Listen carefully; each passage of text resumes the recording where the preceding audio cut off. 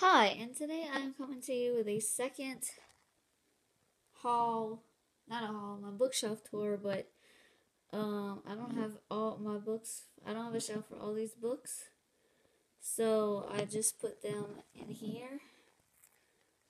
So let's get started. The first book I have is Robin Hood. This is a very old book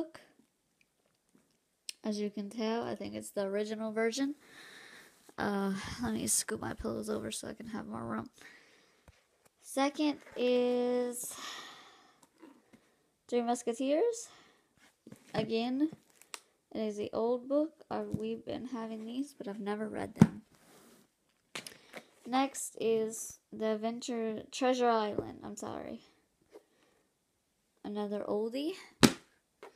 And then this is Pinocchio. It's like the adventures of Pinocchio. He goes everywhere, places. Um, I have not read these yet. Next, I have Goosebumps. Wanted the Haunted Mask.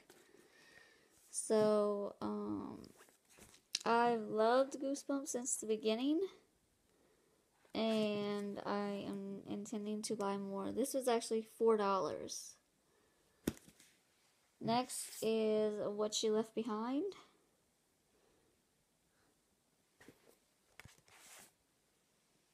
Hit and Run.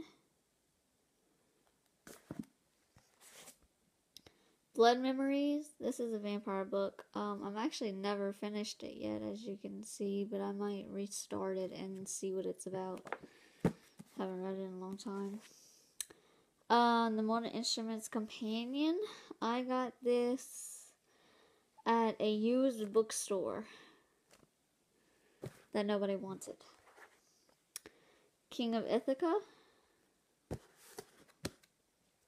And then we have the Miss Peregrine Home for Peculiar Children.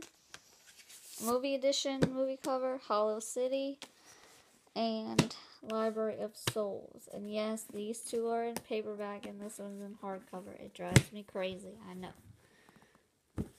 Um, next we have the Mara Dyer trilogy. So we have The Unbecoming of Mara Dyer, The Evolution of Mara Dyer, and The Retribution of Mara Dyer. Have not read them yet. Then we have Me Before You,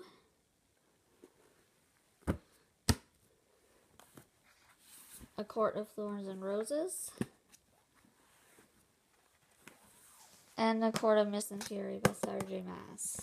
Have not read these yet, but I plan on to. And this one is in paperback, and this one is in hardcover because when I went to the store to Books a Million, they did not have this one in paperback and hardcover.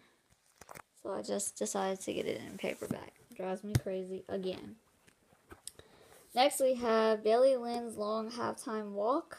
Um, this is going to be a movie coming out November 11th, so I will be reading that soon. Then we have Chain Letter by Christopher Pike. Have not read that yet. Red Heart Tattoo. Really, really, really good book.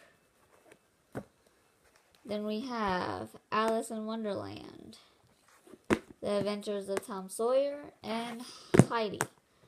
Um, I'm planning on getting some of the other ones that look like this. um, I'll have to go find them. Then we have mythology. Um, all kind of different stories of Greek. Um, Greek gods. Then we have Queen of Hearts and Tiger Lily.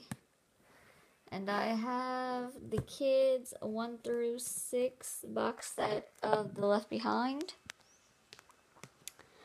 And last but not least, we have Stephen King's It.